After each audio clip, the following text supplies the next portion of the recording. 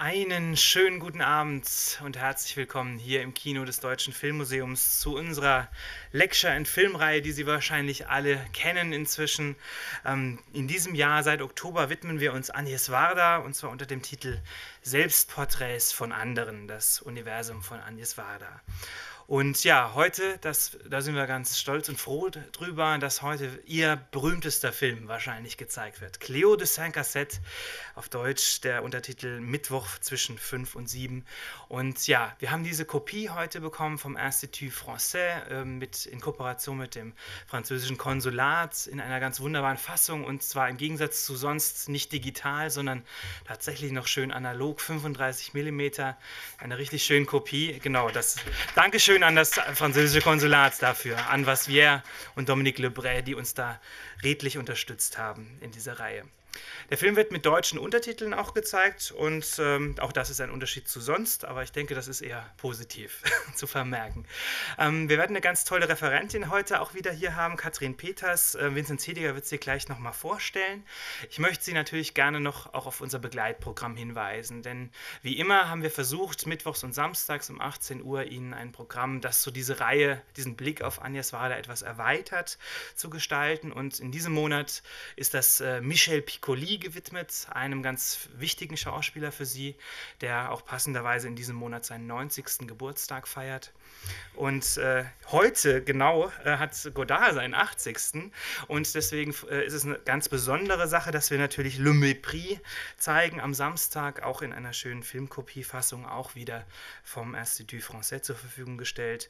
Danach noch Belle de Jour, auch ein sehr, sehr sehenswerter Film. Und dann gehen wir in die Neuzeit. Habemus Papam von Nanni Moretti. Dafür hatte Piccoli den, Itali äh, den Europäischen Filmpreis bekommen.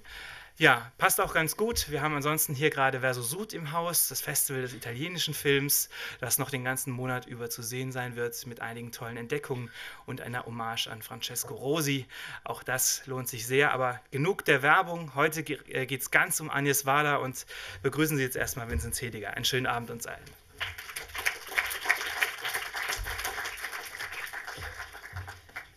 Ja, guten Abend. Ähm ich habe hier zwei Zettel. Ich muss erst eine kleine didaktische Pedanterie äh, äh, zur Kenntnis bringen.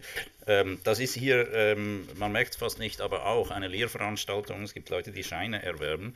Und ähm, ich möchte alle, die Scheine erwerben wollen, bitten, sich nach der Vorführung des Films auf dieser Liste einzutragen, die dann im Ausgangsbereich äh, bereit liegen wird. Und damit äh, haben die Regularien ein Ende. Der Film, den Sie heute sehen werden, ist, wie Urs Spörri schon gesagt hat, ohne Frage der bekannteste aus dem überaus reichhaltigen Werk von Agnès Varda. Äh, realisiert auf dem Höhepunkt der Nouvelle Vague zählt äh, Cléo de Saint-Cassette zu den ikonischen Filmen des französischen Kinos der frühen 1960er Jahre und damit, so darf man äh, getrost sagen, auch des Weltkinos. Es ist ein Film der äh, wie viele Filme der ersten Phase der Nouvelle Vague in den Straßen von Paris gedreht wurde, weitgehend, mit Elementen der Improvisation und unter äh, Verwendung vorgefundener Situationen, Drehorte und Personen. Zugleich ist es ein Film, der insofern unverkennbar die Handschrift von Agnès Varda trägt, als diese, wie ich es formulieren möchte, nicht in der Lage ist, ihre Kamera irgendwo hinzuhalten, ohne ein Bild zu machen das heißt, eine visuelle Komposition zu stiften, zu schaffen, die mehr ist als nur eine fotografische Darstellung der Objekte vor der Kamera, eben ein Bild. Es ist mit anderen Worten ein Film, der noch einmal in besonderer Weise daran erinnert, dass Varda von der Fotografie herkommt und ihr Kino immer im Horizont und im Gedanken an die bildende Kunst, an die Malerei insbesondere verstanden und realisiert hat.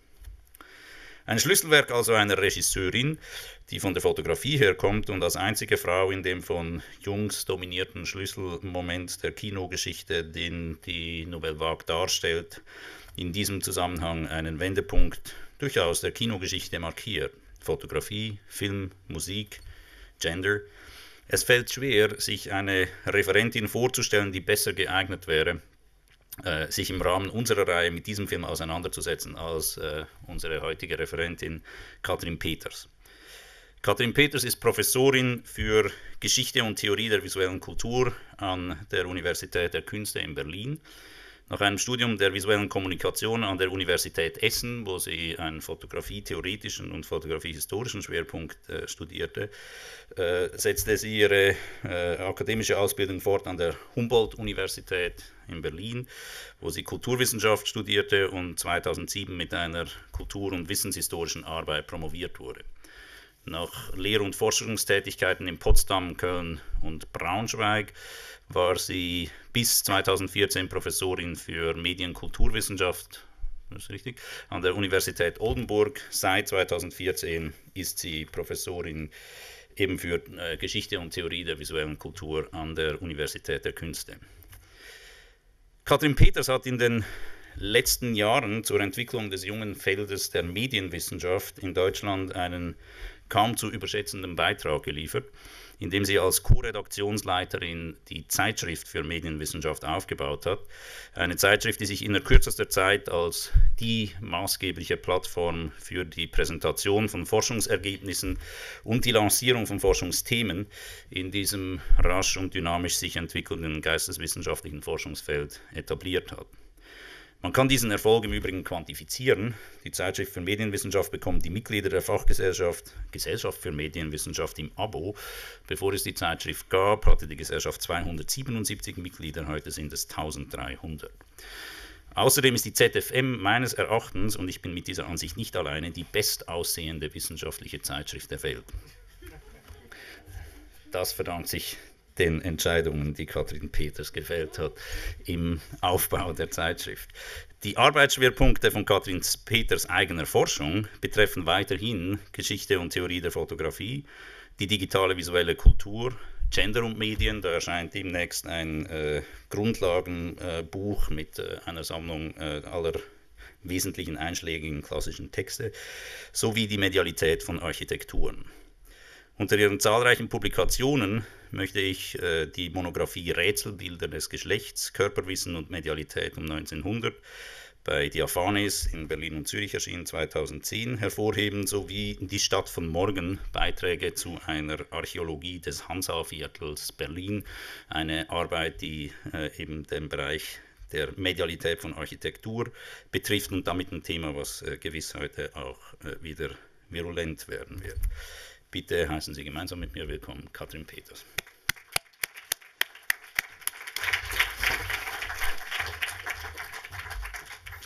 Ja, vielen Dank, Vinzenz, für die Einführung, in der ich mich kaum wiedererkannt habe.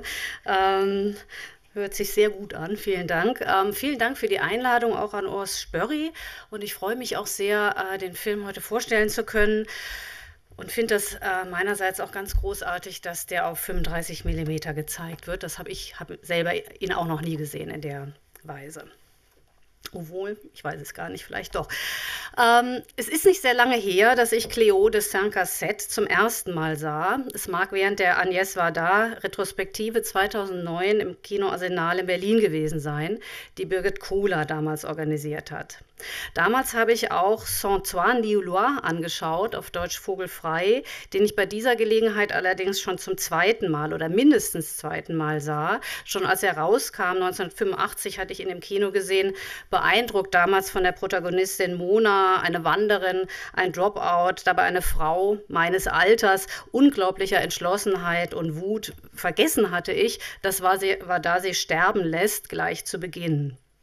Was ich erinnerte, war vor allem Sandrine Bonner, die die Figur Mona spielt. Ich erinnerte und erinnere noch die eiskalten Felder im Winter und die Idee von Unabhängigkeit, auch wenn die Protagonistin an ihr, der Unabhängigkeit oder vielleicht sogar nur der Idee von Unabhängigkeit scheitert.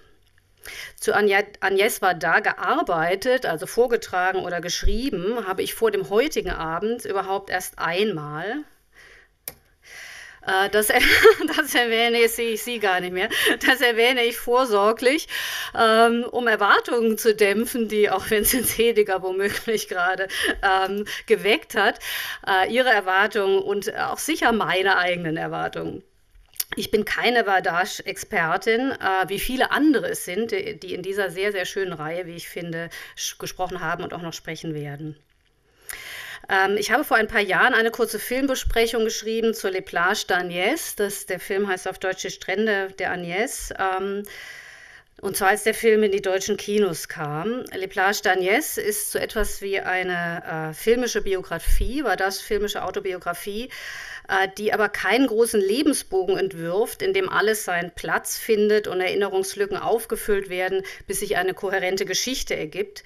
Dem Furor der Biografisierung widersteht war da mit diesem Film. Man sieht sie, wie sie im Haus ihrer Kindheit in Brüssel steht. Ein Sammler von Modelleisenbahnen wohnt jetzt da, von dem sie sich alles zeigen lässt, die Eisenbahn und den Garten hinterm Haus, hinter, in dem noch die Umrisse des Teiches zu sehen sind, der dort angelegt war, als sie ein Kind war. Aber kein nostalgisches Gefühl stellt sich ein.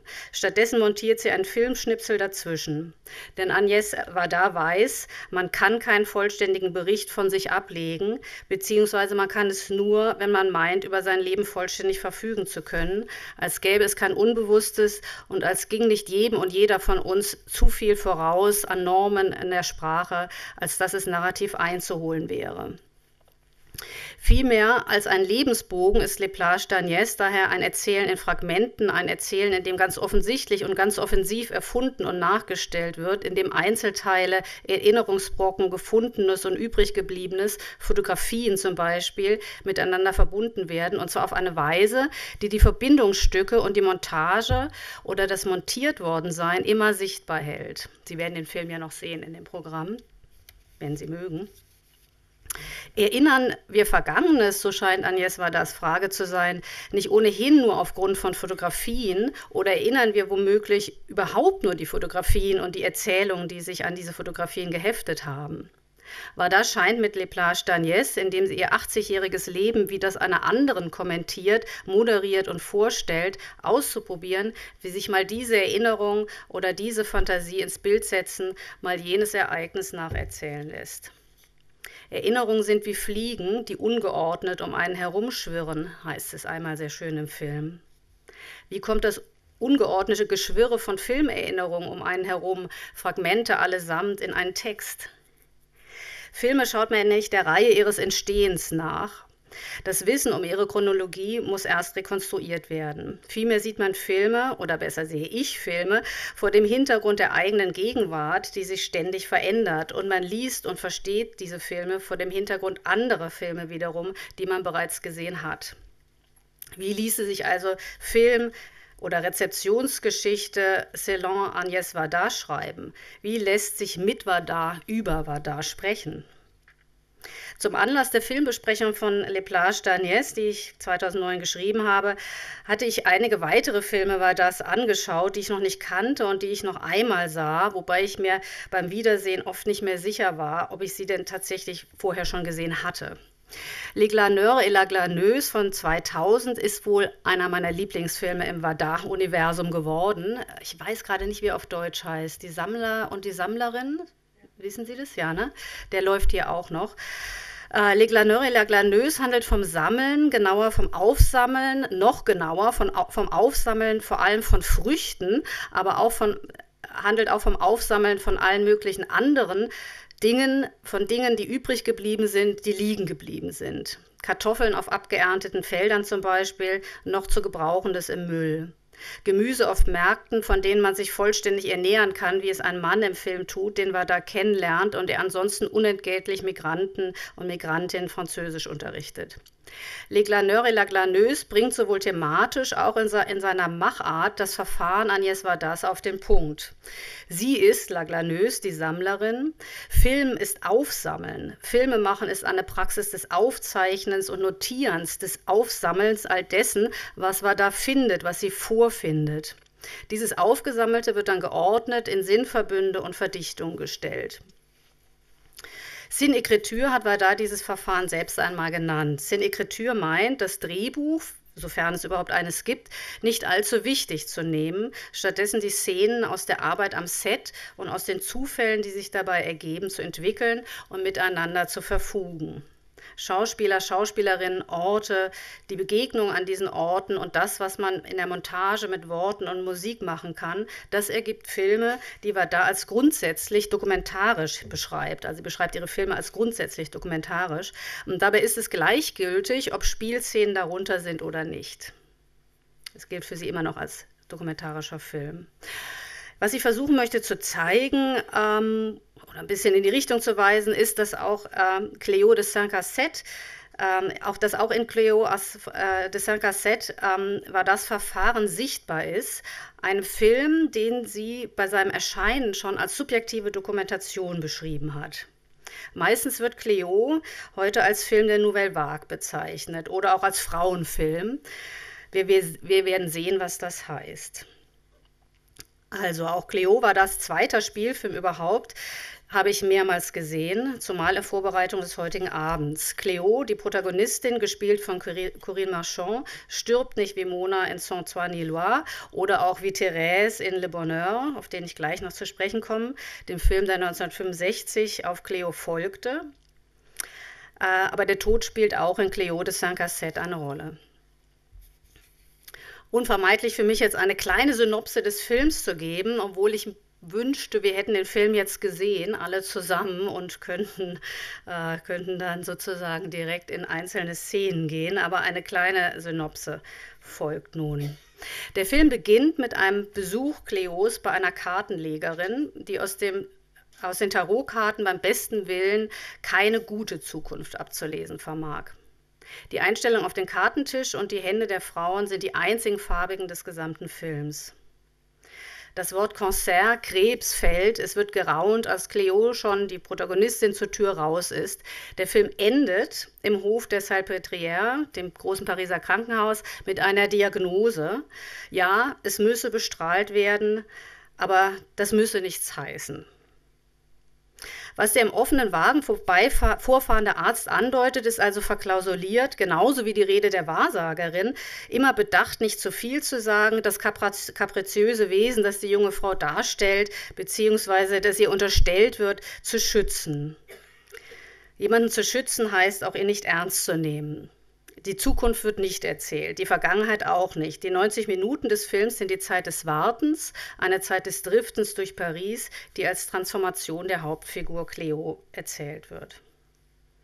Die zeitliche Struktur des Films selbst ist dabei streng schematisch. Die Filmhandlung entwickelt sich über die Dauer, in der wir den Film sehen. Das heißt, die erzählte diegetische Zeit ist mit der Filmdauer identisch. Die 90 Minuten, die wir sehen, ähm, sind sozusagen wie eine Realzeit gefilmt. Tatsächlich beginnt der Film um 17 Uhr und endet um 18.30 Uhr. Die Uhren, die im Film auftauchen, zeigen immer genau die Uhrzeit an, die auf den 13 Kapitelüberschriften, die den Film unterteilen, genannt wird. Das trifft selbst auf die im Radio angesagte Uhrzeit äh, während einer sehr schönen Taxifahrt im ersten Drittel des Films zu, sowie auf die Uhren, die auf der Straße stehen. Agnes Varda hat, ähm, heißt das, den Film im Juni und Juli 1961 in chronologischer Reihenfolge der Szenen gedreht, also wirklich eine Szene nach der anderen und soweit möglich und nötig immer zur jeweils genau ähm, zur Uhrzeit, die in der Diagese angegeben ist. Zwar legt der Filmtitel nahe, wir würden Cleo zwei Stunden sehen, von fünf bis sieben. Auf Deutsch heißt der Film Mittwoch fünf bis sieben. Ne? Ähm, aber hier hat da ein wenig gemogelt, äh, und zwar zugunsten einer Anspielung, die, sich, äh, die sie sich nicht entgehen lassen wollte und die die Figur charakterisiert, bevor sie im Film überhaupt auftaucht. Saint-Gasset heißt im Französischen auch die Zeit am späten Nachmittag, in der sich geheime Geliebte treffen oder genauer gesagt, in der Ehemänner ihre Geliebten treffen. Die Geliebten, die hingehalten werden, die auf dieses Treffen warten, warten müssen, wie auch Cleo auf irgendetwas wartet, ihren, auf ihren Durchbruch als Sängerin zum Beispiel. Beispiel. Saint-Cassette, das ist hier, äh, war das Ironie.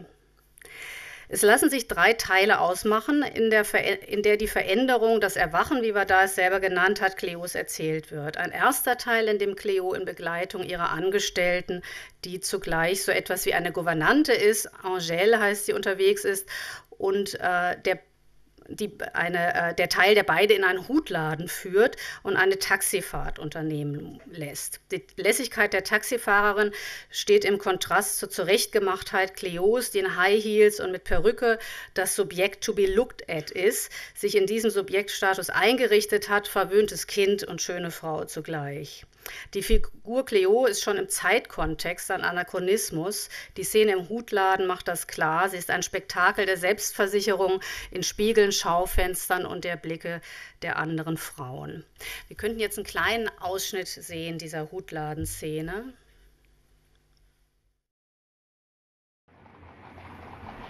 Also Cleo und äh, Angèle, die äh, Begleiterin, ähm, gehen noch ein bisschen durch Paris und vor allem fahren sie mit dem Taxi zurück nach Hause. Daraufhin folgt zu äh, äh Cleos Atelier, Studio, Wohnung es folgt dann ein Mittelstück, das Cleo eben in ihrer Wohnung zeigt, umschnurrt von Katzen und Angèle.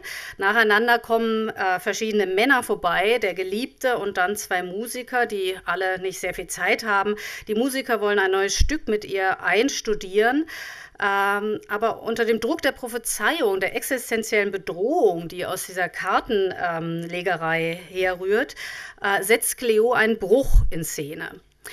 Die Herablassung und Verniedlichung, die ihr, wie es scheint, völlig unbedacht in großer Selbstverständlichkeit von all den drei Männern entgegengebracht werden.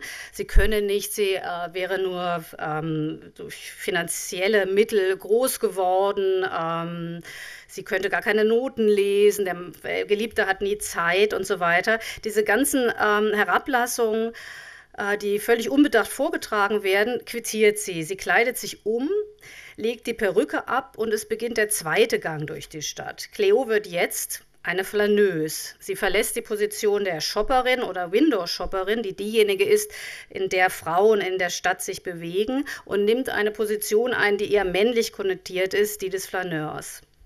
Zitat. Dialektik der Flanerie, einerseits der Mann, der sich von allem und allen angesehen fühlt, der Verdächtige schlechthin, andererseits der völlig unauffindbare Geborgene. Zitat Ende, Walter Benjamin. Dieser zweite Gang führt sie in ein Café, in dem sie die Unauffindbare, die Geborgene wird, das Angesehenwerden fast vermisst, aber in der Gegenwart ankommt. Jetzt können wir die zweite sehen.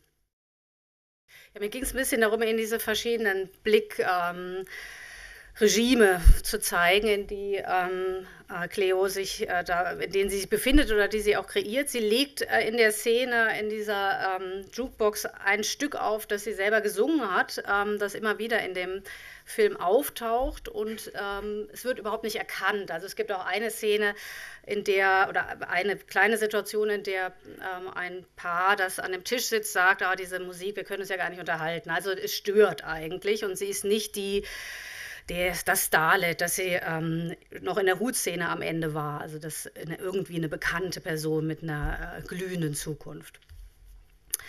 Sie kommt, äh, es kommt schließlich ähm, in einer Parks, in einer Parklandschaft ähm, zu einer Begegnung mit einem Soldaten, Antoine, der nach seinem, man nennt es wohl Heimaturlaub, am selben Abend wieder nach Algerien muss. Also Cleo trifft diesen Antoine im Park Montsouris.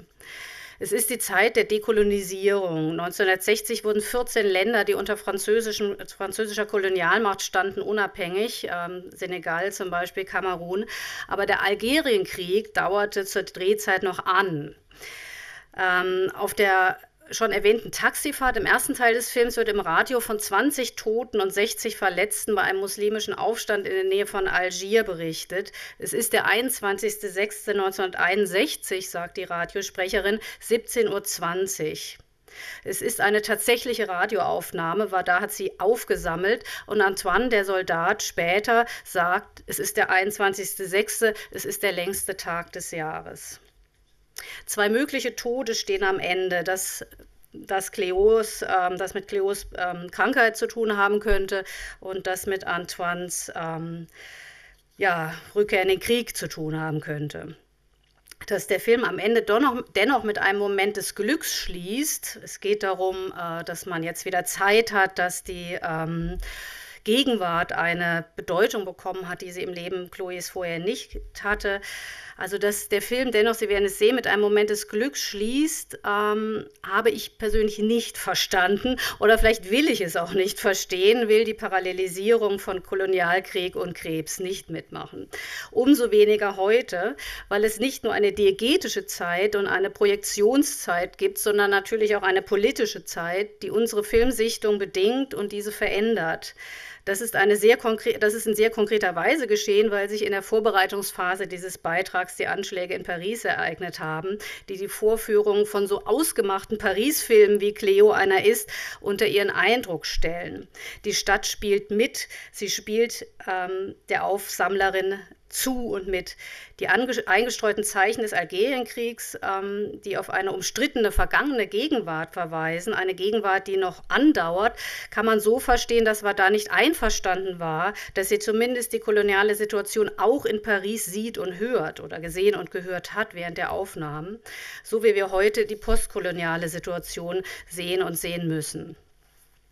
I am in Paris and passed near the scene of killing on the Rue Beaumarchais on Friday evening, schreibt Judith Butler am 14.11.15, ähm, also im, am 14.11. dieses Jahres ähm, im Blog Versobook.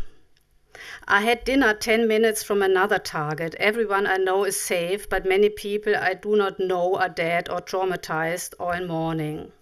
Wie kann man darüber nachdenken?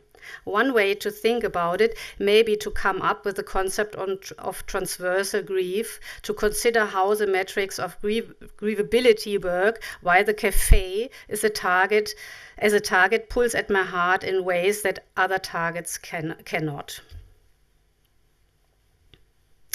Es ist Agnes war das zweiter Spielfilm, aber der erste, der einen Verleih hatte und außerhalb sehr enger Freundeskreise gesehen wurde. Er lief in Cannes 1962. 1961, das war nach Abu de Souffle von Godard, das war nach Les Signes du Lion von Romer, es war nach Parino Appartient von Rivette, es war nach Les Quatre Cent Coups von Truffaut und mit allen vier Filmen wurde Cleo verglichen, zeitgenössisch und vor allem später retrospektiv. Die Rezeptionsgeschichte der Regisseurin Agnès Varda hat verschiedene Phasen durchlaufen und auf gewisse Weise fängt die Rezeptionsgeschichte auch erst an, nicht zuletzt mit Veranstaltungen wie dieser. Dabei scheint es auch darum zu gehen, war dafür die Geschichtsschreibung der Nouvelle Vague zu gewinnen, zu der sie biografisch als Ehefrau von Jacques Demy schon immer gehört hat, wobei man sich fragen kann, ob Jacques Demy überhaupt noch zur Nouvelle Vague gezählt wird. Äh, und sie zählte auch dazu als alte Freundin äh, und Bekannte von Godard und all den anderen. Cleo liefert der Film für die innere Verbundenheit einen Beweis. Godard und Anna Karina tauchen in einem Film im Film auf, in einer kleinen äh, Stummfilmparodie, mit der natürlich natürlich sehr viel nahegelegt wird. In der Buchreihe The French Film Guides ist 2007 eine Monographie zu Cléo de Saint-Cassette herausgekommen. Die Nouvelle Vague braucht eine Regisseurin. Man kann und will ihre Geschichte, die Geschichte der Nouvelle Vague, nicht länger als Jungsclub schreiben, der Frauen nur vor der Kamera kannte. Und die Figur der Mutter oder der Großmutter der Nouvelle Vague, der Grand Dame der Nouvelle Vague, wie La Varda lange äh, genannt wurde, kann keinen gegenwärtigen Genderansprüchen mehr genügen. Valerie Open schreibt in ihrer Monographie in, diesen, in dieser Reihe French Film Guides, ähm, schreibt sie Cleo und äh, war da in die Filmgeschichte der Nouvelle Vague ein ähm, und schreibt Cleo ticks all the boxes. Die Strich Strichliste der Nouvelle Vague geht so, ich zitiere. Cleo, der Film It was made before 1963, which is often cited as the year of the beginning of the end of the new wave. It was low budget and amateurish, not slick and polished like tradition of quality films, and consequently more free in its subject matter and style. It was an auteur film in the sense that it bore the director's control and stamp. It had, had um, recourse to little known actors and some non professionals. It referred to other New Wave films. It was shot on location in Paris. And last but not least, Cleo had that youthfulness and energy so characteristic of New Wave films. Zitat Ende. Frieda Grafe, die Filmkritikerin, ist 1967 schon ganz anderer Meinung. Zitat, kein Film aus den Anfängen der Nouvelle Vague hat sich im Licht der späteren Filme seines Autors so verändert wie Cleo. War das Kino ist ein Auto Autodidaktenkino, voller Barbarismen und schon deshalb grundverschieden vom Kino der Nouvelle Vague. Zitat Ende. Für Grafe verstößt war dagegen gerade erst durchgesetzte filmische Werte. Sie habe, Zitat Grafe, alle Regeln und Konventionen, die in ihrem Metier üblich sind und nach denen man gewohnt ist, Filme mit Kunstanspruch zu beurteilen, negiert oder vielmehr einfach nicht zur Kenntnis genommen. Zitat Ende. Aber man muss sagen, wobei ich mir nicht ganz sicher bin, dass es Frieda Grafe nicht wirklich stört, dass es so ist. Denn sie schreibt, genau diese Eigenschaften machten schon das Besondere an Cleo aus. Man muss sich vielleicht viel mehr fragen, folgt man Frieda Grafe, was warum nicht gefällt, was wem nicht gefällt.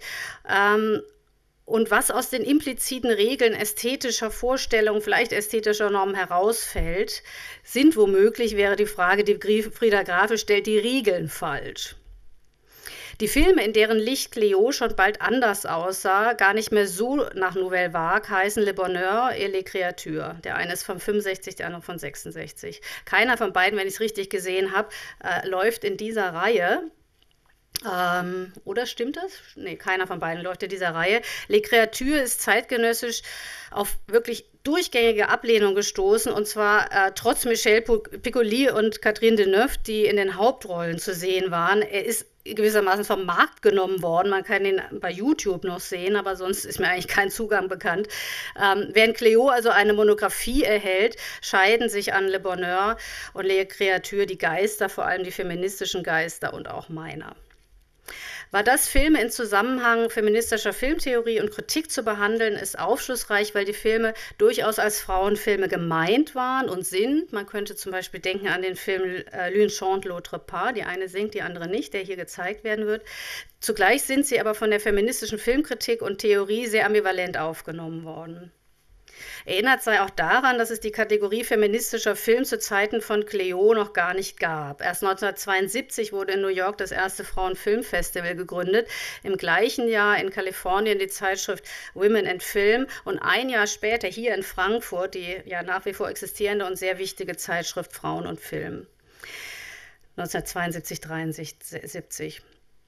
Natürlich gehen solche, ähm, reagieren solche Institutionsbildungen und Diskursplattformen auf etwas, das bereits im Schwange ist, das im Gange ist. Der Diskurs um Frauen und Film ist gewissermaßen älter als die Zeitschriftengründung, in der er sich niederschlägt, in der er sich vertieft und verbreitet.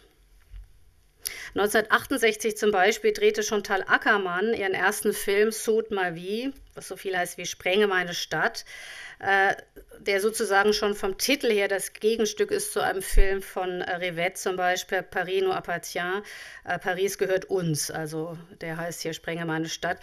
Ähm, die Rede ist ohnehin hier von Brüssel bei Chantal Ackermann. Ähm, Sud Malvi ist eine 13-minütige Performance, in der eine junge Frau, Ackermann selbst, alltägliche Haushaltsverrichtungen ver, ähm, äh, durchführt, die ihr entgleiten. Langsam, allmählich stellt sie die Küche auf den Kopf und schließlich den Gashahn auf ohne Entourage, ohne Gouvernante, ohne Liebhaber, ohne Paris und ohne Perücke. 1968. Und das ist sicher ein Film, der einem, einem Gegenkino, auf das die feministische Theorie und Kritik setzte, viel mehr zuarbeitete als Cleo. Ähm, ja, äh, noch einen kleinen Clip würde ich jetzt gern zeigen, den nächsten, ähm, in dem diese äh, doch ganz interessante Geschichte offenbar wird, äh, dass 1993 Madonna ein Remake von Cleo machen, äh, drehen, zu drehen plante, mit sich in der Hauptrolle ähm, und mit äh, nicht mehr Krebs, diese ähm, tödliche Diagnose, die den ganzen Film sozusagen motiviert ist, sondern AIDS. Bitte. Ja, so viel zur feministischen Rezeption 1993. Ähm, erst in den letzten Jahren scheint sich ein Konsens herausgebildet zu haben, der Cleo als einen feministischen Film avant la lettre versteht.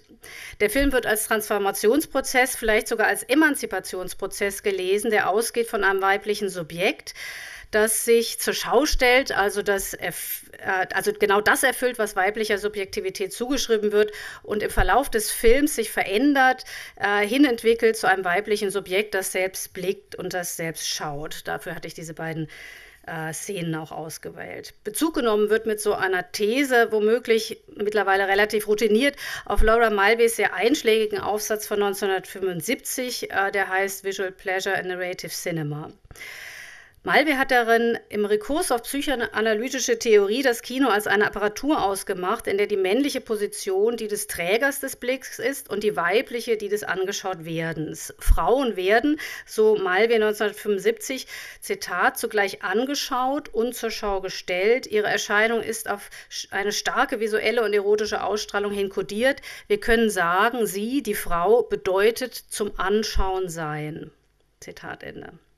Film wiederholt in, äh, wiederholt diese ähm, Konstellation, indem die Kameraposition, so die Analyse der äh, meisten Filme, ähm, indem die pa Kameraposition den männlichen Blick einnimmt und diese grundlegende geschlechtliche Ordnung ähm, sozusagen perpetuiert und zwar noch bevor überhaupt irgendeine Handlung begonnen hat. Also Malves These ist, und die finde ich tatsächlich nach wie vor sehr äh, wichtig und aufregend, dass ähm, schon in der Kamerakonstellation, in der Blickkonstellation selbst ein Gender-Regime ähm, wirksam ist, in dem die Kamera sozusagen immer auf, auf die Frau gerichtet ist und eine männliche Position einnimmt. Und das hat noch nichts mit der Geschichte selbst zu tun.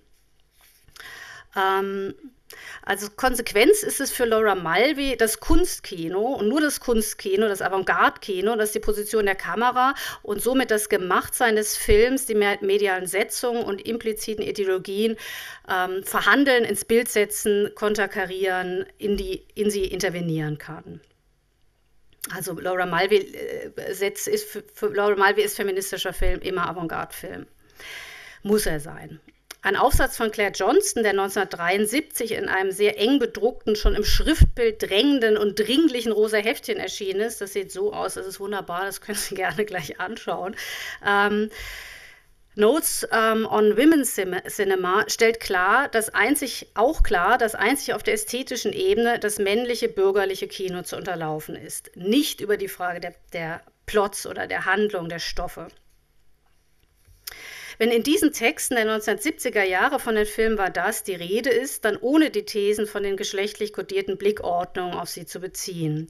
Diese Thesen scheinen für Vardar nicht zuzutreffen, auf sie nicht anwendbar zu sein. Das geschieht sozusagen erst, erst später, rückblickend.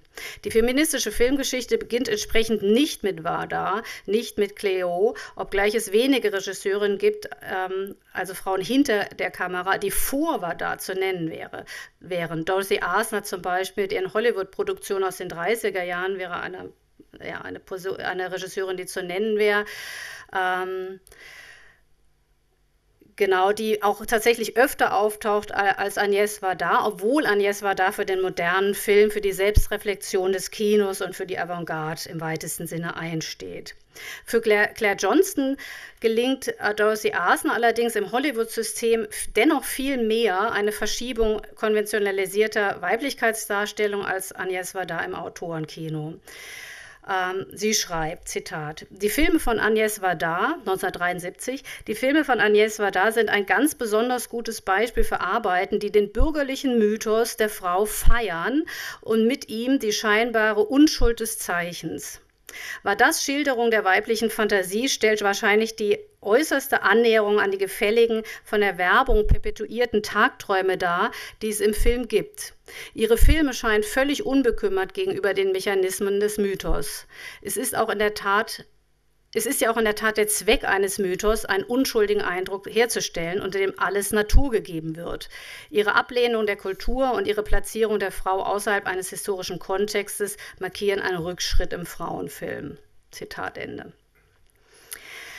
Vielleicht bin ich etwas ungerecht, das hier zu zitieren, weil sich das nicht unbedingt nur auf äh, Cleo bezieht, sondern auf einen anderen Film, Le Bonheur, den ich schon erwähnt habe, von 1965, äh, den wir gleich noch im Ausschnitt sehen werden, der ähm, an dem sehr großer Anstoß genommen worden ist, ähm, der ungefähr so beginnt. Ähm, ist eine sehr große gelbe Sonnenblume im Bild zu sehen und eine Wiese im Hintergrund, auf der Vater, Mutter, Kind und noch ein Kind in roter Kleidung Hand in Hand ins Bild laufen. Eine Familie in der Natur beim Picknick. Sie, die Frau, ist Schneiderin, er ist Schreiner. Sie lieben ihren Beruf, ihre Kinder und sich selbst oder sich gegenseitig. Dann erscheint eine zweite Frau, auch sie sehr hübsch und weiblich und der Mann liebt auch sie, findet das unproblematisch, aber die Ehefrau Therese bringt sich um, geht ins Wasser, nicht unbedingt aus Kummer, vielleicht auch aus Glück, das bleibt im Film offen. Die zweite Frau übernimmt das Leben der ersten mir fällt tatsächlich nicht ein, wie sich der Film anders zusammenfassen ließe. Es sind immer wieder Tode, äh, in ähm, Vadas-Filme, die die Narration in Gang bringen, die sie veranlassen oder abschließen, wie im Märchen. Der deutsche Titel des Films Le Bonheur konnte nicht so stehen bleiben. Äh, es konnte nicht stehen bleiben, dass hier einfach von Glück die Rede ist. Der deutsche Verleih titelte, betitelte ihn Glück aus dem Blickwinkel des Mannes. So, jetzt würde ich gerne den nächsten äh, Filmausschnitt sehen. Der ist äh, filmisch tatsächlich nicht uninteressant. Bitte. Why does every film buff man I know hate, really hate Le Bonheur? fragt Barbara Martineau im selben Jahr, äh, 1973. Und weiter, Le Bonheur is a savage film. We have moved to a mail order catalog of visions of bliss, Christ. An exploration of relationships between man and woman, a situation free from sexism, capitalism, exploitation of any kind. The women like to cook, clean, sew, nurse, and earn a living. The man enjoy his work and his woman, they all uh, enjoy nature. So die ironische Zusammenfassung von Barbara Martineau. Aber Barbara Martineau ist unentschlossen, versucht den Film zu retten. Sie überlegt, dass doch zumindest hier, wie fast in keinem Film sonst, die Fantasien von Frauen, und seien sie noch so brav, seien sie noch so konventionell, dass diese Fantasien in diesem Film zu ihrem Recht kommen, dass sie Gültigkeiten beanspruchen, dass sie nicht psychologisiert, nicht verworfen, nicht verurteilt werden, dass sie vielmehr einen ästhetischen Raum bekommen. Das erscheint mir ja tatsächlich ein entscheidender Aspekt. Äh, und eine Frage, die ich gar nicht beantworten kann, aber durchaus auch nach wie vor wichtig finde, um welche Ästhetik geht es hier eigentlich? Ähm, kann es sein, dass Erwartungen zu lange, wie Frieda Grafe schreibt, über maskuline Kunstnormen gelaufen sind, als dass ich Vergnügen finden könnte an Kunst, in der nicht bestimmte Formen wiederkehrten. Zitat Ende. Auch Frieda Grafe sieht in dem ästhetischen Überschuss, in der Ungereimtheit, vielleicht Geschmacklosigkeit, dem grob montierten, in der artifiziellen Einfachheit einen Umschlag in etwas Neues, dadurch, dass sie, Zitat, also das war da, Zitat, vorhandenes unkonventionell programmiert wiederholt. Das ist ein Versuch von Frieda Grafe und Martineau, diese späteren Filme letztlich auch Cleo zu retten und sie eben nicht als affirmative Frauenfilme zu sehen, also die bestimmtes konventionelles Bild von Weiblichkeit eigentlich unterstreichen und perpetuieren, sondern in diesem Überschuss vielleicht etwas anderes zu sehen, ein, ein Aufschein einer Ästhetik, die schwer zu schätzen ist. Sie beziehen sich dabei beide auf Susan Sonntags Aufsatz ähm, über Camp, der 1964 herausgekommen ist und der deswegen den Hintergrund bildet, weil der ja, sehr bekannte Aufsatz über Camp ein Versuch der Öffnung ästhetischer Vorstellungen darstellt. 1969 sitzen Susan Sontag und Agnes Vardar zusammen in einem Studiogespräch. Das ist das Letzte, was ich zeigen möchte hier. Und man sieht darin, wie schwierig Feminismus war, immer noch ist, 1969 noch schwieriger war. Zumal, wenn man sich nicht, wie beide nicht, weder Sonntag noch war da als ausgesprochene Feministin verstand. Und man sieht auch, wie verschieden die ästhetischen Vorstellungen sind, zumindest über männliche Frisuren. Bitte. Der, letzte, der vorletzte Clip. Ja, vielen Dank. Das war mein Vortrag. Vielen Dank.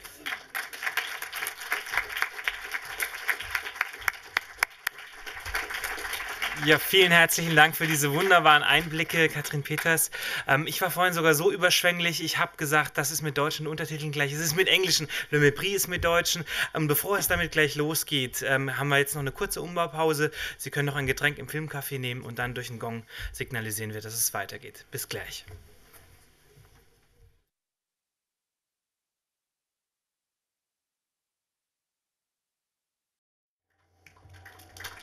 Ja, das war Cleo de Saint-Cassette und der Applaus ist natürlich wert. Und begrüßen Sie nochmal Katrin Peters und Vincent Zediger hier vorne zum Gespräch.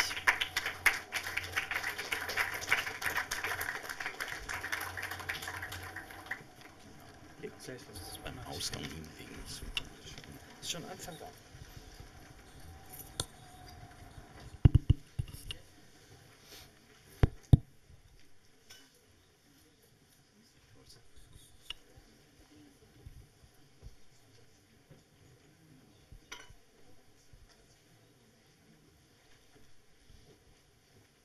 Könnt ruhig anfangen. Okay. Ja, ähm, erstmal vielen Dank nochmal für den, äh, für den wunderbaren Vortrag und für die äh, vielen Impulse und Perspektivierungen, äh, die du uns da gegeben hast. Äh, lass uns gleich beim Ende anfangen und bei äh, dieser, äh, wie du es formuliert hast, Analogisierung von Krebs und Krieg. Tod. Oder Tod, also die beiden Tode ähm, das ist ja in der Tat bei, bei ein durchgängiges Moment. Es gibt sogar einen Film, wo sie äh, auf dem Umweg über Shirley Clark, Lions Love, das ist ein Film, den wir im Sommersemester noch sehen werden, äh, auch ihren eigenen Tod zu oder einen Selbstmord zu inszenieren versucht. Das, das ist irgendwie ein großes Thema. Aber ich will noch anfangen bei dem, bei dem Satz, dass, dass das jetzt für dich nicht überzeugend war. Das Ende. Kannst du das nochmal ausführen? Ja, da regt sich Widerstand bei mir, ja. weil ich das äh, einerseits einfach ein pathetisches Ende finde, mhm. also auch ein Ende, was ich finde, der ganzen Figurenauslegung nicht gerecht wird. Ähm, aber man müsste wirklich sagen, im Nachhinein ein typisches war da Ende, etwas, was öfter oder ein ein Topos-Motiv, das öfter auftaucht, ähm, um eine Geschichte zu beenden, um sie vielleicht anzufangen, um eine gewisse Tiefe zu verleihen. Und hier hat mich jetzt besonders irritiert äh, diese Parallelisierung von zwei möglichen Toden. Es sind ja nur potenzielle Tode, die aber natürlich aus völlig anderen Konstellationen heraus rühren würden. Das eine ist ein politischer Tod, das andere ist ein mal kontingenter fast. Also wenn es einer wäre, dann überhaupt. Ähm, wir können übrigens, falls Fragen aus dem Publikum sind, natürlich die Diskussion sogleich ja. öffnen. Ja, da hinten gibt es schon gleich eine Frage. Ja, ähm, also ich hätte jetzt vielmehr eine Frage ähm, zu dem einen Film, den Sie erwähnt haben. Und zwar äh, Le Créateur war das, glaube ich. Ähm, Le Bonheur? Nie der andere, äh, also Kreateur oder Ach, so. Kreatur, ja. Mhm. Und zwar, um was geht es da ungefähr und was war daran so provokativ, sage ich mal? Also es geht um eine Paargeschichte in dem Film ähm, und auch um eine Betrugsgeschichte, eine Frau, die nicht mehr spricht, die sehr kurios alles, die gehen aufs, äh, aufs Land, erproben das einfache Leben dieses Paar. Die Frau ist gleichzeitig schwanger und es gibt immer den Verdachtsmoment, dass er sie betrogen hat, dann kommt das Kind zur Welt und sie spricht wieder. Sie hat die ganze Zeit nicht gesprochen. Also sehr aufgeladener Film und der, also die, die, der, der Plot ist insgesamt sehr aufgeladen und die Kritik war eigentlich genau in die Richtung, dass das überfrachtet wäre, die Geschichte überfrachtet wäre, dass sie nicht nachvollziehbar wäre, dass sie völlig artifiziell wäre. Und ähm, dann sowohl in der, also in der, unter den Kollegen der Nouvelle Vague durchgefallen ist, als auch sagen, im größeren Kino, im, also wenn es um, um äh, Vertrieb geht und so weiter. Also auch da wurde er kaum gezeigt. Warum das so ist, das ist ja eine Frage, die ich tatsächlich nicht so ganz genau beantworte. Also ich, ich, ich finde den auch kurios, aber ähm, warum Filme durchfallen und wie wir sie nochmal neu anschauen könnten, das wäre genau eine Frage, die ich auch stellen würde, aber die ich jetzt gerade nicht beantworten kann. Warten Sie kurz. Film gab? Nee, äh, meines Erachtens gab es kein anderes, anderes Ende. Ende. Nein, also, nein, nein. Also, ja, haben Sie sich anders vorgestellt, nämlich? Schauriger. Schauriger sogar. Achso. Ähm, nee, also meines Erachtens gab es kein anderes Ende. Ich weiß nicht, ob Sie es bemerkt haben. Ich habe es jetzt bemerkt, weil ich einfach die Geschichte dazu kenne. Das kann man in diesen ganzen ähm, Dreingaben auf der DVD danach lesen oder nachschauen. Es, man sieht am, ganz am Ende des Films die Schienen für die Kamera zwischen dem Paar auftauchen. Und Agnes war da, hat das nachgedreht, weil sie das, es kann doch nicht sein, jetzt sieht man dann diese Schienen, ist ja furchtbar.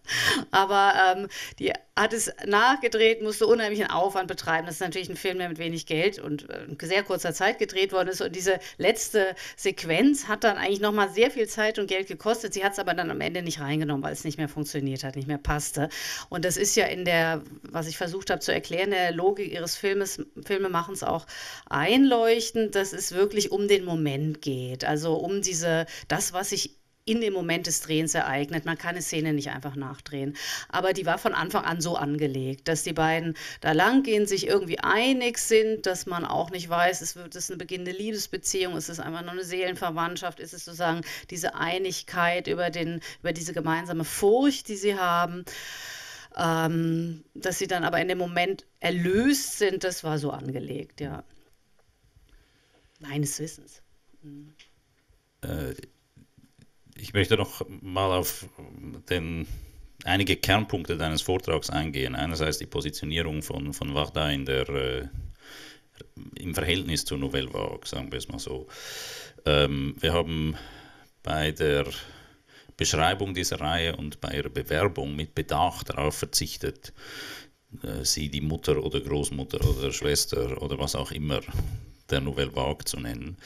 Und haben sie eigentlich auch nur ja, mit Vorbehalten relativ oder in Beziehung gesetzt zur Nouvelle Vague. Ähm, und äh, es ist ja auch so, wenn man sich La Pointe Courte anschaut, äh, und das werden wir im Sommersemester dann auch noch tun, ähm, stellt man ja fest, dass äh, eine ganze Menge von dem Zeug, was dann die Jungs erst fünf, sechs Jahre später tun, da eigentlich schon realisiert ist.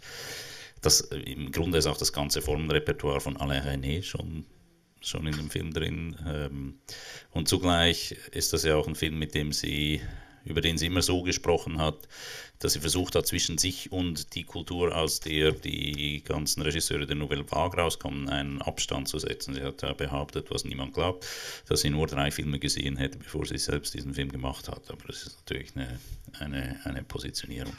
Ähm, also das, äh, das finde ich einen äh, sehr wichtigen Punkt in deinem Vortrag auch, dass du das problematisierst. Und, und ähm, der andere wichtige Punkt, und das ist ja eigentlich das, äh, der, das Hauptargument, ist, dass äh, Wada uns immer noch was zu denken aufgibt, insofern sie in den, nennen wir es mal so, den Genealogien eines feministischen Kinos nach wie vor keinen gesicherten Platz hat.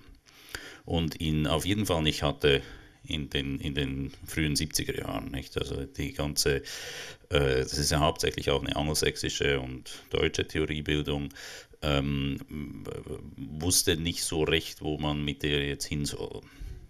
Wir haben in der Pause darüber gesprochen, dass, dass es in gewisser Weise eine ähnliche Perplexität gibt von Theoretikern wie ähm, Malcolm LeGrice, also den Vertretern des strukturellen Films, gegenüber Godard, nicht? der zwar Brechtianer sein soll, aber dann doch nicht politisch genug ist und, und eben eigentlich das falsche politische Kino darstellt und dem, dem man eben auch äh, Unzuverlässigkeit und mh, Oberflächlichkeit, Harmlosigkeit in politischen Dingen äh, vorwirft. Und, und äh, in gewisser Weise wiederholen sich oder, oder, findet man ähnliche Argumente in den Texten, die du auch zitiert hast. Nicht? Also es ist irgendwie, es stellt ein Problem dar. Ja, ich, ich, ich habe ja überhaupt nichts dagegen oder nur etwas dafür, dass man Agnes war da äh, einen Platz in der Filmgeschichte mhm. einräumt. Mhm. Das ist überhaupt keine Frage. Und das. Ähm, ist tatsächlich nicht in dem Maße geschehen, mhm. wie es äh, sein müsste und dass man sich die Filme nochmal anschaut und ihre tatsächliche Eigenwilligkeit mhm. auch anschaut. Und deswegen finde ich es vielleicht etwas verkürzt oder denke auch, dass es eher aus der Nouvelle Vague-Geschichtsschreibung dann von Interesse, dass man sagt, jetzt, da, da muss jetzt auch noch mal eine Frau rein und dann gibt es auch die Agnes ja. Vardar, die hat diese frühen Filme gemacht und so weiter.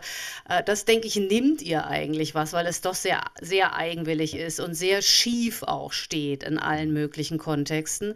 Und deswegen finde ich das jetzt vielleicht weniger produktiv, sie dort einzureihen und ihr so eine Ah, so eine mm, epochale Position zu geben, als dass man sich vielleicht gerade die etwas ungeliebten Filme, diese schrägen oder vielleicht sogar queeren Filme auf eine ganz ja. merkwürdige Art, dass man die, die nochmal anschaut und die äh, zur Geltung bringt. Mhm. Ne? Und nicht zu sagen, ja, Cleo, es, es ist ja nun wirklich ein wunderschöner Film, gar Absolut. keine Frage. Mhm. Ähm, sagt, das ist jetzt nur der beste aller Nouvelle Vague-Filme und damit ist die Sache auch vorbei. Das, das fände ich jetzt nicht so interessant. Ja, genau. Also ich meine, eine, eine Strategie, die dann äh, gewählt wurde in Geschichtsschreibung, ist einfach zu unterscheiden zwischen Rive Gauche und Rive Droite und äh, genau, links vom Seineufer. Also man ja. macht das ganz provinziell auf die Geografie der Stadt Paris bezogen.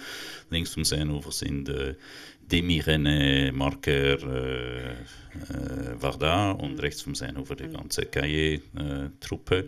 Aber man kann sie auch noch anders einordnen. Ähm, Saint-Ouen Nilois, äh, der Film, über den du auch gesprochen hast, 1985, ist Nathalie Sarraute gewidmet, der, der äh, Schriftstellerin, die ihrerseits dann auch wieder dem Nouveau Roman zugerechnet wird, ohne dass sie selbst da einen Mitgliedsantrag gestellt hätte. Ähm, und äh, in, in den Zusammenhang gehört auch Marguerite Duras, die äh, ja natürlich äh, dann durch eine bestimmte feministische Lesart äh, appropriiert wurden, wenn man so will, Sarot weniger. Ähm, aber da, da gibt es ja nochmal einen, einen anderen Zusammenhang, würde ich auch sagen. Also ich habe beim Anfang dieses Films wieder gedacht, die, die Sache mit dem Tarot, also den, den äh, Tarotkarten, die in Farbe gezeigt werden, wo ja eigentlich der ganze Plot des Films vorausgenommen wird das ist gewissermaßen eine Spielanordnung und dann, dann wird das eingelöst. Und äh, wir haben an einem früheren Punkt in dieser Reihe schon über äh, Raymond Quinault und Ulipo gesprochen, also diese spielerische äh, anti-bedeutungstiefe äh, Literatur der, der 50er Jahre, wo eben äh, naja, das Gesellschaftliche über Spielanordnungen eigentlich eher dargestellt wird als im Modus des realistischen Romans oder der klassischen Gesellschaftskritik und so weiter. Also es gibt eine ganze Reihe von Feldern, wo man, wo man da auch noch einordnen kann. Das äh, wäre vielleicht auch produktiver. Ne? Also zu der Reihe Sarot, äh, Dürer, ähm, war da, es müssen, also ich weiß da gar nicht so viel drüber, aber das mhm. wäre wirklich interessant, sich das nochmal anzugucken. Ne? Das, ähm, und die, äh, jetzt diese zweite Frage oder wo du dann hingekommen bist in deiner Frage, ähm, ja, ich, ich habe das dann irgendwann für mich als märchenhaft auch bezeichnet. Ne? Man macht so eine gewisse Anlage und eigentlich ist ja auch diese äh, Kartenlegerin mit ihren Voraussagen auch in keiner Weise weniger präzise als der Arzt. Ne? Also beides bleibt so mirakulös, beides bleibt ne, zwischen Drohung und äh, vielleicht auch ein Versprechen. Es ist ja gar nicht so schlimm. Ne? Aber aus welcher Position sprechen die eigentlich? Die wissen es ja beide nicht, muss man eigentlich sagen. Also das kann ich gar nicht auflösen, aber es geht, also Wahrheit oder Evidenz ist jedenfalls keine Kategorie, weder auf der einen noch auf der anderen Seite. Ne? Was ist eigentlich eine Rahmung innerhalb dessen und so? Deswegen stört mich das Ende am Schluss, also stört mich das Ende am Ende sozusagen auch nicht mehr so sehr, weil es, äh, es geht ja um es geht ja um alles, was dazwischen ist. Mhm. Darum han davon handelt der Film. Der Rest ist eine, das ist eine Rahmung, um zu versuchen, eine Geschichte in Gang zu bringen, mhm. zu übersetzen, also zu, zu ja, beschleunigen und äh, auch zu beenden. Also ich meine, sehr, sehr knapp reduziert könnte man sagen, das ist ein Film über Schönheit und Aberglaube. Mhm. Geht immer wieder, also sie sagt ja auch immer, sie ist superstitiös und man darf ja, den sie ist so kapriziös, ne? darum ja. geht es immer. Sie ist, äh, sie ist kapriziös und sie ist gâté, also verwöhnt, kapriziös, launisch, sie ist ein Kind, ne? geht ja auch immer wieder Aber sie ist eben auch abergläubisch. Also Und, ja. ja. ja, sie ist, aber, aber gut, das ist natürlich die feministische Maskerade-Theorie. Also mhm. ähm, eine Frau ist immer irgendwie eine Puppe. Das ist ja. also, insofern ist das auch kein Gegensatz, wenn man das jetzt nee, feministisch heraus. Aber es ist ja, also ich meine, du hast das sehr schön herausgearbeitet, ein Punkt noch, äh, wo genau in der Mitte wechselt sie das Kleid. Und, ja, genau. Und, und zieht die Perücke Was genau in der Mitte hast du drauf geachtet? Absolut, ich 45 genau in der Mitte. Punkt genau. Das ist genau ich, die Hälfte. Ich hatte auch vergessen tatsächlich zu sagen, diese ganz schematische Anlage des Films, die ähm, ist eigentlich ein Kompromiss gewesen. Sie hatte, die äh, Agnes Varda hatte einen Film vor, der noch viel, viel schematischer angelegt mhm. wär, gewesen wäre, nämlich die Geschichte eines Mannes zu erzählen äh, mit fünf verschiedenen Schauspielern, in, mit, äh, die jeweils fünf verschiedene Alter, äh, Altersstufen des Mannes darstellen. Und das war aber den Prozenten zu stilisiert. Ja. Also, ja. Das hat dann Todd Heinz mit Bob Dylan gemacht. ja, ja, stimmt. Ja, ich wollte nochmal auf die äh, Tarotkarten zurückkommen, weil im Prinzip mit, dem, äh, mit dieser Vorgabe hat man ja gar keine eindeutige Prophe Prophezeiung, die am Ende äh, irgendwie eingelöst wird. Das ist ja noch relativ ähnlich zu diesen, äh, zu diesen Gruppierungen, die du gerade äh, skizziert hast. Es geht ja um eine bestimmte Bildpolitik, äh, wo es um Konstellationen geht. Und die werden dann neu gemischt, neu durchgespielt.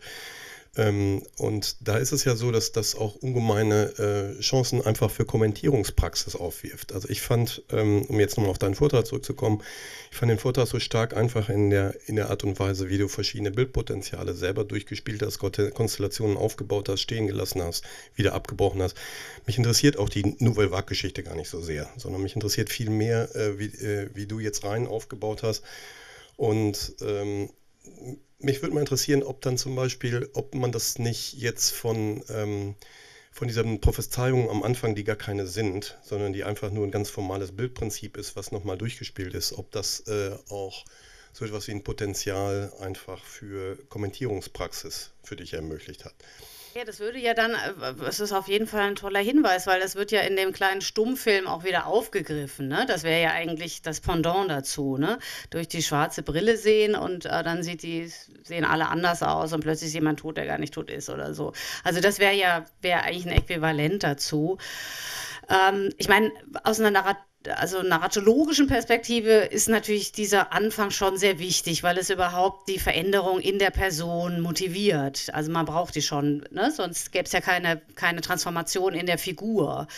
Ähm, dass die von Vardar womöglich wahnsinnig ironisch angelegt ist, ähm, ab, absolut, das ist mir die liebste aller Lesarten, dass man das eben aus diesem Existenziellen herausnimmt und sagt, das ist äh, eine Auslegungsfrage, eine Deutungsfrage. Ja, bitte. Also ich hatte mich nun die ganze Zeit gewundert, also es ist ja im deutschen Untertitel des Filmes Mittwoch zwischen fünf bis sieben und hier war es ja an einem Dienstag oder lag das an dem Untertitel im Film? Ehrlich gesagt, ich habe da was zu gelesen. Ich habe mich jetzt auch gefragt, ich weiß es nicht mehr, warum er es im deutschen Mittwoch genannt hat. Also es ist mir jetzt tatsächlich nicht mehr präsent. Also äh, im Original wird sie auch bestrahlt und in Untertiteln kriegt sie Chemotherapie am Schluss. Genau, also dabei ist es gar nicht, ja nur eine, genau, kriegt ja nur eine radiologische Behandlung. Also äh, man, ja, man darf einfach die, die Willkür der Übersetzer im Kino nicht, nicht äh, unterschätzen. Ja. Ich würde gerne versuchen, ähm, aber einen Punkt hinzuweisen, der mir wichtig vorkommt. Das war da wohl abseits von der Ironie vom Anfang, äh, möglicherweise doch sehr interessiert daran war, so eine Art Gegensatz aufzubauen zwischen dem, was man nennen könnte, das Volk und einem weiblichen Individuum. Ist, der, der, der, Film hat ja vier Teile im Prinzip, also abgesehen von diesem Vorteil mit den Karten, beginnt er dann diese ganz lange Außenszene im Außenraum, das Volk und eben dieses kapriziöse weibliche Individuum dann kommt dieser Intimraum, der Privatraum, wo dann alles bricht und dann kommt wieder sozusagen das Volk, das Kaffeehaus und aber eine andere Frau, nicht mehr die kapriziöse, sondern die, die sozusagen zurückschaut. Es gibt Point of Views, es gibt eine andere Art von Widerständigkeit sozusagen der Frau angesichts, angesichts eines, eines Umfeldes, eines, einer Umwelt. Und dann kommt wieder ein Nachspiel, sozusagen wäre für mich ein Nachspiel dann mit der Begegnung mit dem Mann. Das heißt, äh, diese unglaublich aufwendigen äh, Szenen mit den unterschiedlichsten Blicken, den Spiegeln, die immer wieder den Einzelnen in einer äh, Masse sozusagen verorten und dieses Zurückspiegeln auch sozusagen des anderen in einem selber, scheint mir eigentlich war da das wichtigste Motiv zu sein, auch was die ästhetische, die ästhetische Form betrifft. Ne?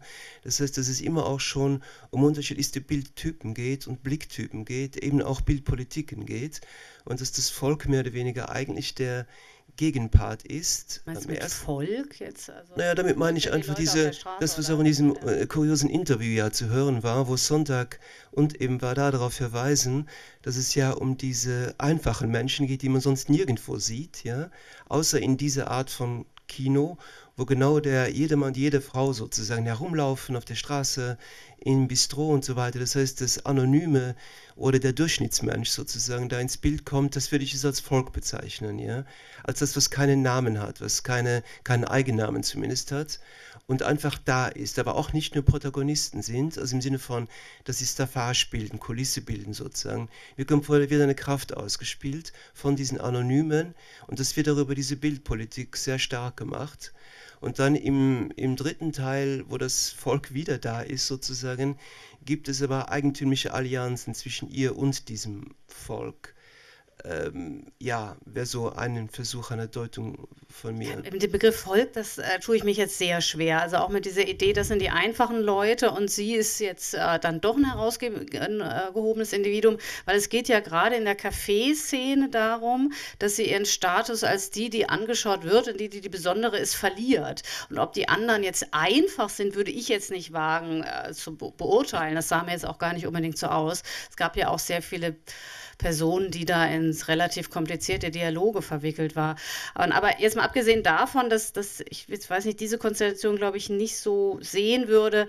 Ähm, stimme ich dir natürlich völlig zu, dass es die ganze Zeit darum geht, wie sie sich verhält in, in ähm, Blickrelationen. Ne? Also, und deswegen ist der erste Teil ja auch viel hermetischer. Also, was heißt deswegen? Also umgekehrt. Also der erste Teil ist sehr ist hermetischer. Es gibt das Taxi und eine, so einen abgeschlossenen Raum. Es gibt den Hutladen, der auch ein abgeschlossener Raum ist, wo die drei um sich, auch die drei Frauen um sich kreisen, mit der Verkäuferin, die ja auch ein bisschen so diese Kartenlegerin-Figur wieder aufgreift, ne? die auch irgendwas sieht in ihr. Und ähm, in dem zweiten Teil, nach dieser ähm, Szene bei ihr zu Hause oder dieser Sequenz ist, ist sie ja, dann öffnet sich das. Dann gibt es diese Point-of-View-Shots, dann gibt es ein Gegenüber, dann gibt es Blicke, die sich beantworten und nicht nur, nicht nur selbstreferenziell äh, sind. Das, das ist absolut die Dramaturgie des Films, genau. Und das führt dann auch zu einer Begegnung, die eben für mich jetzt so ein bisschen pathetisch äh, erzählt wird, ne? dass so eine Art als authentische, wahrhaftige Begegnung mit diesem Soldaten erzählt wird. Aber in der Logik des, des Films ist das ja eigentlich ein, äh, ist das ja plausibel plausibel, dass ne, dann eine Begegnung stattfindet, die die erste wirkliche Begegnung ist. Im Sinne eines Austauschs, eines, dass es ein Gegenüber gibt und dass auch ausgesprochen werden kann, dass sie krank ist. Das konnte ja vorher nicht ausgesprochen werden. Also nur sozusagen als, als ja, Wehleiden.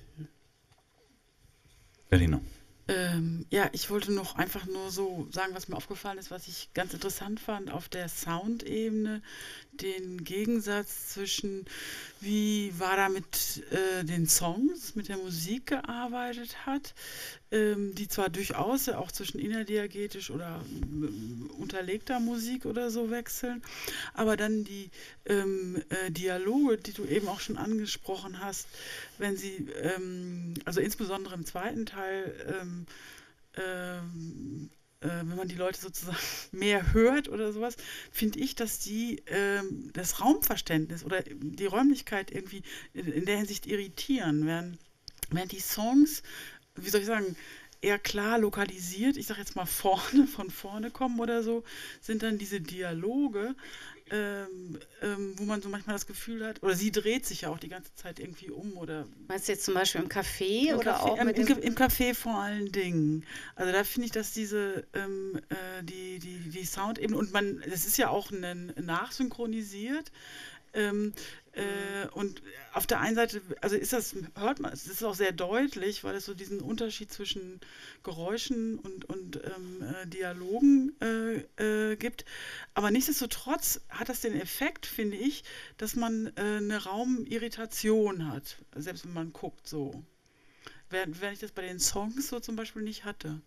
Du meinst die Songs jetzt in der, die in der Wohnung geprobt werden? Die in der Wohnung nee? geprobt werden ja. oder auch, wenn sie, äh, sie schmeißt doch irgendwann die Jukebox auch an und dann ja, geht ja, sie aus dem Laden Café. raus und der Song bleibt ja drunter, der bleibt ja sozusagen ähm, ähm, geht ja nahtlos über in unterlegte Musik da. Also wie das jetzt genau gemacht und, ist, das weiß da, ich natürlich alles nee, überhaupt nicht, nicht. Aber genau ja. an dem Punkt äh, gibt es dann die äh, nicht, nicht eine Irritation oder sowas, sondern das funktioniert irgendwie glatt. Aber bei den Dialogen habe ich, hatte ich das Gefühl, dass es so ähm, man ist so, ähm, vielleicht wie Sie in dem, äh, in dem Augenblick, aber ist ähm, in der räumlichen Wahrnehmung irritiert so ein bisschen oder immer hin und her geworfen. Ja, das ist eine gute Beobachtung. Das ist sie ja, ist sie ja eindeutig. Das ist ja auch äh, eigentlich der Moment, wo sie beginnt, ähm, ja, ihre Position zu wechseln. Ne? Das ist ja ihr Stück, was sie einlegt. Das hat sie gesungen und das ist so ein kleiner Hit, aber keiner reagiert darauf mhm. in dem Café. Alle finden das eigentlich eher störend und keiner erkennt sie. Das ist ja die große ja, Frustration, die ja, sie ja. da erfährt. Man erkennt sie gar nicht. Sie zieht extra schon diese Brille auf, ne? damit sie nicht so vielen Blicken begegnen muss, aber es guckt sie gar keiner an. Also das ist ja so der Umbruch eigentlich. Insofern passt deine Beobachtung da ja absolut dazu. Das ist auch ähm, in, auf der auditiven Ebene so eine Verschiebung. Sie trägt ja natürlich auch die Perücke nicht mehr. Nee, sie die hat sie ja ab, genau. Das sie, ist sie ja sagt ja beim Abzie ja. Ausziehen der Perücke, also sagt sie, ich, ich, würde mir gerne den ganzen Kopf abreißen können. Aber das ist, also ich meine, das ist, das ist äh, scheint mir eine wichtige Beobachtung zu sein. Rein technisch gesprochen kann man sagen, die Tonspur ist unsauber gemischt oder sie ist zum Beispiel zumindest unrealistisch nachvertont, weil es äh, keine, keinen Raumklang und keine Raumperspektive gibt. Aber es gibt eine semantische Perspektive. Man hört das, was wichtig zu hören ist. Die, die Sätze, die da gesagt werden, sind für, für die Story wichtig. Und äh, es ist auch eine interessante Entscheidung, sich da von der, von der äh, Straßenrealismus-Ästhetik in dieser Hinsicht äh, dann doch deutlich zu verabschieden. Wäre vielleicht so ein Moment, wo Frieda Grafe sagen würde, Mann, ist das schlecht gemacht. Ich glaube, das fände sie ganz gut. Gerade in der Hinsicht finde ich es auch spannend, weil ähm, Jacques Demy hat ein Jahr vorher Lola gemacht mit ja. Anouk Aimé und in einem ganz ähnlichen Stil und sogar ganz ähnlichen, ähnlichen Thematiken. Auch da ist die Anouk Aimé eine, eine, Sängerin eben auch. Und also ähm, weiß man da ein bisschen was darüber, über diese Konstellation zu der Zeit? Hat man versucht, da sich auch irgendwie thematisch zu positionieren, indem man gemeinsam, sagen wir mal, ähnliche Filme macht? Oder ähm, da würde mich einfach mal Hintergründe interessieren. Also biografisch weiß ich nur, dass die Phase war, wo sie sich kennengelernt haben und dass die Corinne Marchand ja auch bei Lola gespielt hat. Also es gibt auch noch andere Schauspieler, die dann übernommen worden sind von ihr. Also die, die Agnès da dann für Cleo de Saint-Cassette gecastet hat. Und auch diese... Ähm, Art, den Film wirklich chronologisch zu drehen, was ich wirklich auch ziemlich interessant finde. Also eine Szene nach der anderen und dann ja auch zeitlich versetzt an den Tagen, damit das Licht immer stimmt und die Uhrzeiten immer stimmen. Äh, das ist wohl was, aber ich bin, wie gesagt, keine Spezialistin, aber was Jacques Demy auch immer getan hat. Also mhm. die Filme chronologisch abzudrehen. In dem Zusammenhang schon mal noch der Hinweis, dass wir im Januar drei Filme von Demy auch zeigen in unserem Begleitprogramm. Unter anderem Lola. Hallo, ich hatte auch eine Frage wegen äh, des Tons, aber nämlich in Bezug auf Radio und ähm, diese politischen Nachrichten über Algier.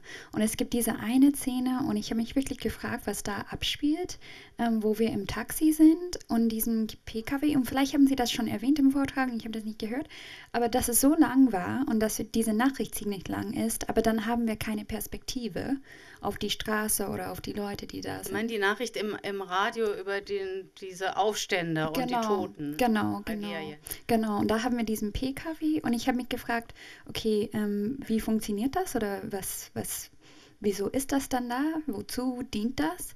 Und ähm, ich habe gedacht, vielleicht, wenn es nicht da wäre, dann können wir ähm, vergleichen, was wir hören, was da passiert ähm, im Vergleich mit dem, was wir auf der Straße oder sowas sehen. Und dann haben wir diesen Kontrast nicht.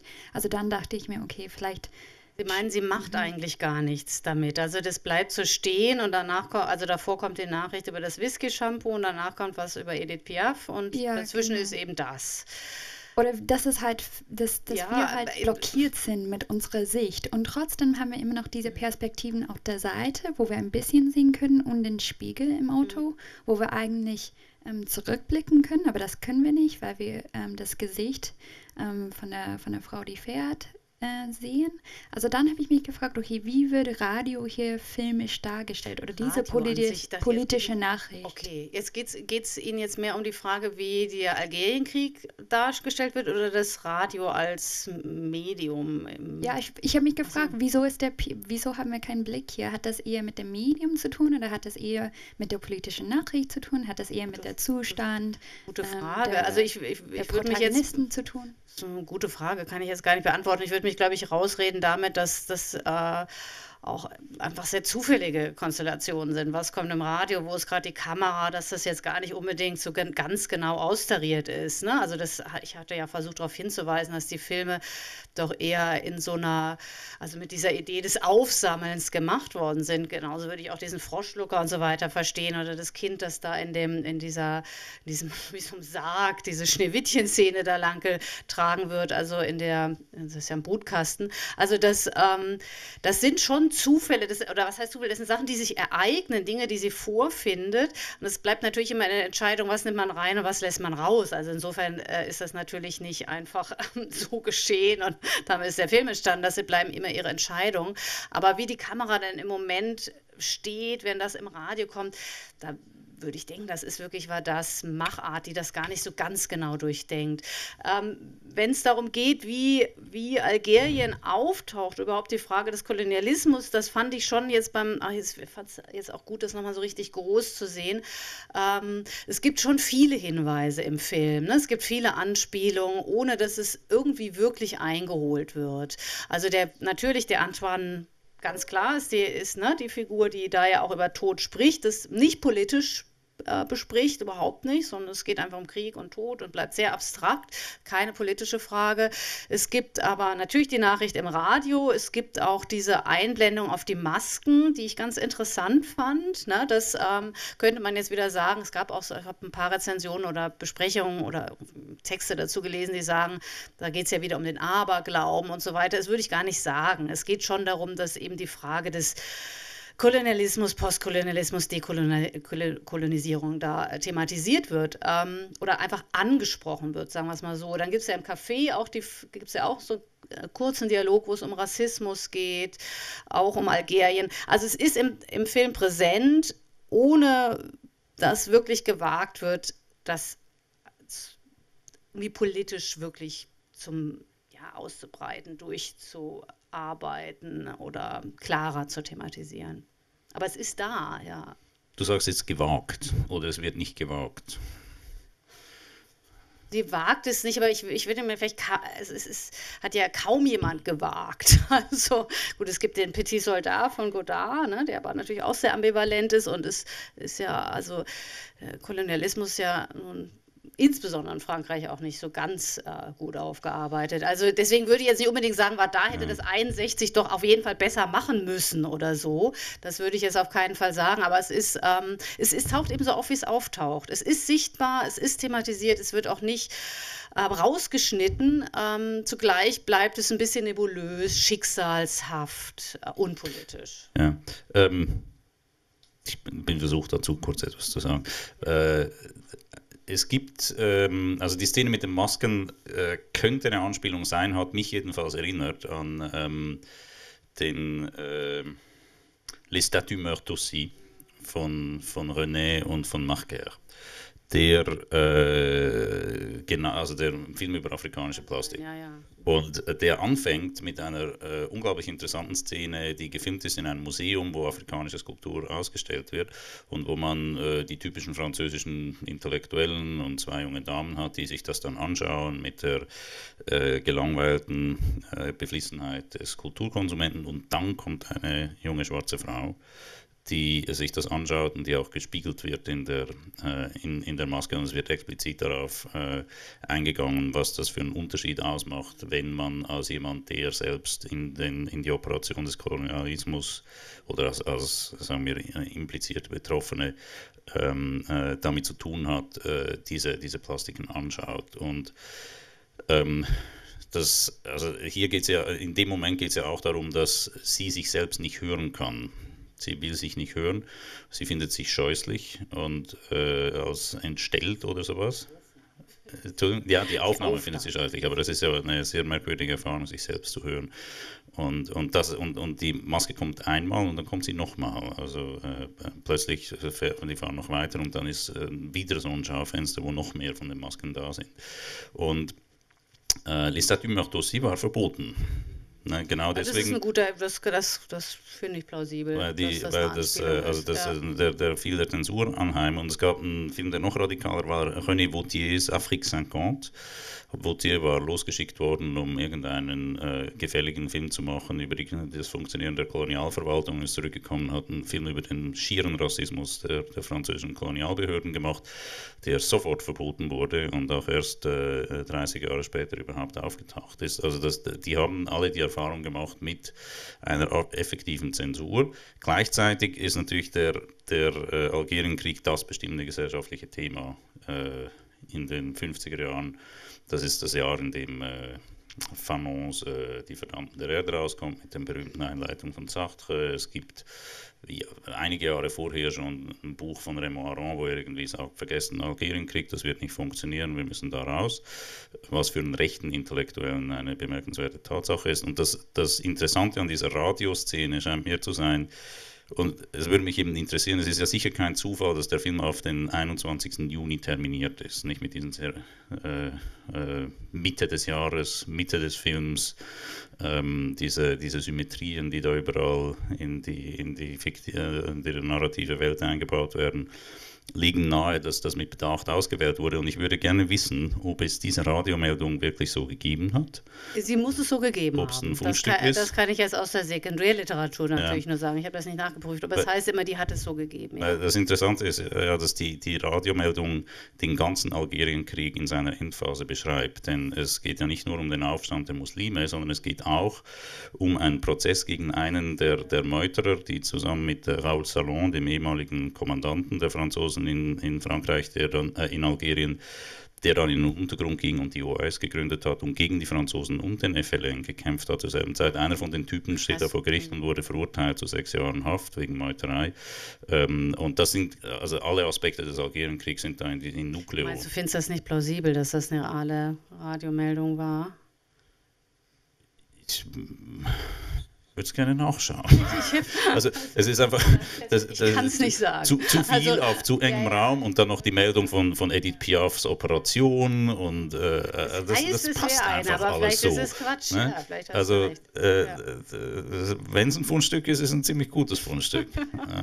würde ich Dann mal noch am 21.06. meinst du, genau, das ist zu genau. viel. Da würde ich jetzt, also man kann das ja nachschauen, das, das INA ist gut dokumentiert. Ich fahre gleich nach Paris und gehe ins Rundfunkarchiv und recherchiere das mal. Äh, too good to be true. Soll ich das machen? Lass uns das gemeinsam tun. ich mache das. Ja, wie dem auch sei. Aber ich meine, es ist ein, ein totaler Schlüsselmoment und, und äh, ich glaube, die, die These, dass, dass äh, die sorgsam mit diesem Problem umgehen, äh, ist plausibel im Lichte der Erfahrungen, die eben René und Marker auf jeden Fall noch gemacht haben und, die, und, und René Vautier, der dann also wirklich geächtet war aufgrund dieses Films lange Zeit. Ja. Gibt es noch Fragen? Diskussionsbedarf? Warten Sie kurz aufs Mikro. Ich zeichne das auf. Mein Namensgedächtnis ist so schlecht. Die Professorin, die wir gehört haben, das vorletzte Mal, die hat auch ein Buch über die Agnes Wader geschrieben, das habe ich mir bestellt. Die Kelly Conway. Ja, ja. und die war, hat sie ja besucht und die sagt, die Agnes Wader hätte in dieser Zeit äh, intensiv Radiomeldungen gesammelt. Okay. Und äh, dadurch dann durch diese Suche hat sie natürlich dann zusammengeschnitten. Aber ja. da steht der Satz drin, sie hätte die intensiv gesucht. Mhm. Und mit Nein, Interesse. Genau, also das, das ist die andere Hypothese, ist, dass es ein Zusammenschnitt von, von verschiedenen Meldungen ist, äh, äh wo sie dann die als Glaneuse, nicht als Sammlerin, wie Das, das ist wahrscheinlich das, was passiert war. Ja, danke für den Hinweis. Ja, bitte.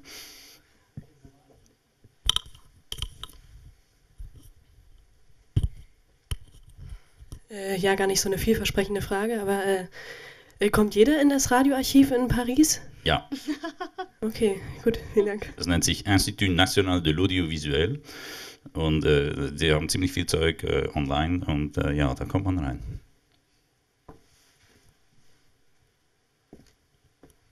Ja, wenn.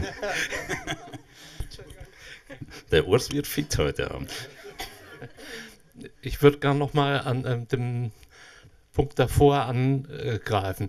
Ähm, Gerade dieser Hinweis Sammlerin äh, hat aus meiner Sicht dazu geführt, dass in dem Film selbst sowas wie eine Collage entsteht. Ja, es gibt eine ganze Reihe, also man kann ja auch diese, diese afrikanischen Masken als äh, sozusagen Hinweis auf Tod nehmen. Und es gibt eine Reihe von Punkten im, äh, in dem Film. Ganz am Ende, das Paar das Taxi verlässt, äh, verlässt gibt es einen, einen, Blick auf einen Laden, steht oben Pompe funèbre.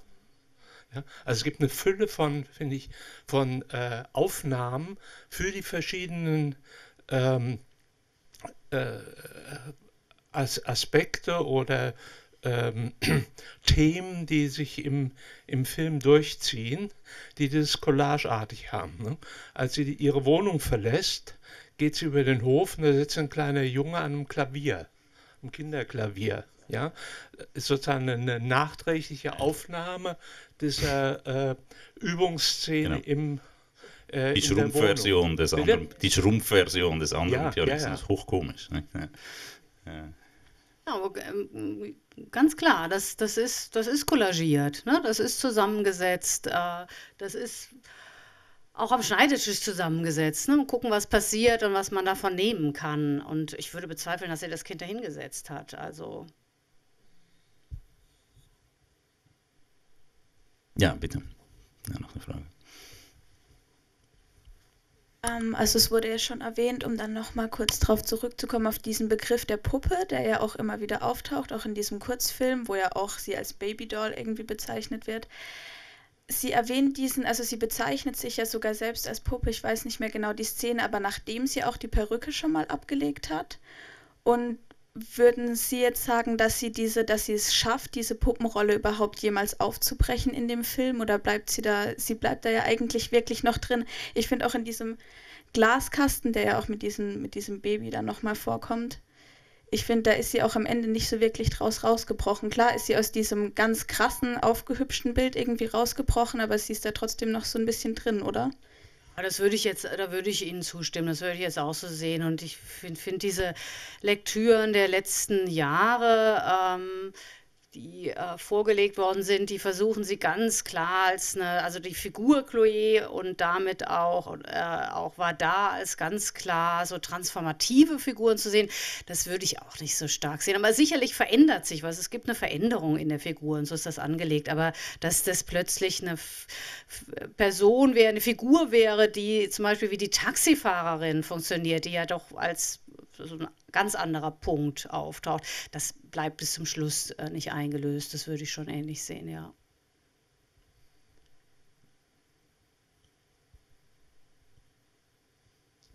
Dann ist bis zum Schluss jetzt das ja. Stichwort. genau, wir sagen ganz herzlichen Dank für den ja. Vortrag und die tollen Einblicke. Drin Peters, Dankeschön. Und natürlich auch an Vincent Zediger. Und ich möchte Sie gerne auch darauf hinweisen, das war die letzte Lecture für dieses Jahr, aber natürlich noch bei weitem nicht die letzte in unserem Agnes Wada-Rhythmus. Am 14. Januar geht es weiter. Angela Kepler wird dann hier sein und über Lune-Chance L'Autre Pas sprechen. In diesem Sinne, frohe Weihnachtszeit. Ich hoffe, wir sehen uns sonst nochmal hier im Filmmuseumskino und guten Nachhauseweg. Tschüss.